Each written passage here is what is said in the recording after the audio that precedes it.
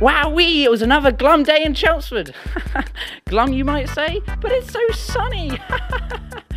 well, the sun doesn't reflect my misery. My only hope was that this man would run me down. He didn't. So I met my pal Tilly, hoping she could shine some light on my day. She didn't. But something did. Jennifer wasn't acting herself. She was standing in the middle of the field, looking at the floor. Something was wrong with Jennifer. Hey, what are you doing? Oh, nothing. Just chilling. What are you doing? Chilling in the middle of a Why, field. why are you in the middle of the field? I know. I'm just in the breeze and whatnot. You're just looking at the floor. What were you doing? Yeah, the floor's really green. It's nice. She was right. Just when I thought things were back to normal, they started dancing. Hey, I had to escape. please.